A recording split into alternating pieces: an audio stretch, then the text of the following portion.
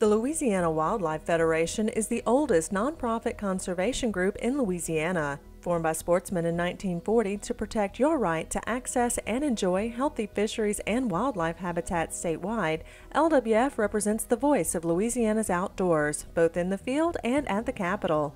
LWF also supports the Vanishing Paradise campaign that advocates for critical restoration in the Delta and on the coast. Speak up for our state. Become an LWF member today.